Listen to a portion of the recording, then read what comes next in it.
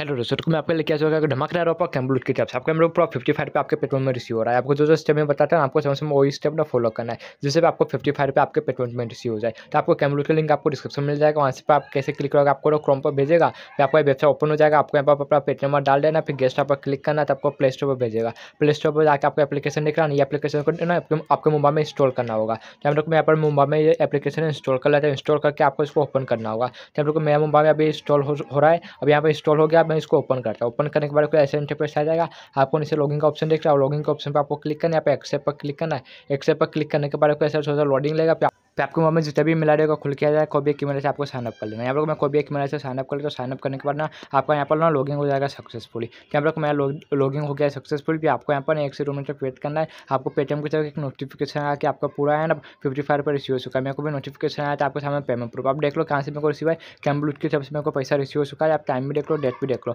मेरे को पेमेंट ना दो मिनट में रिसीव हुआ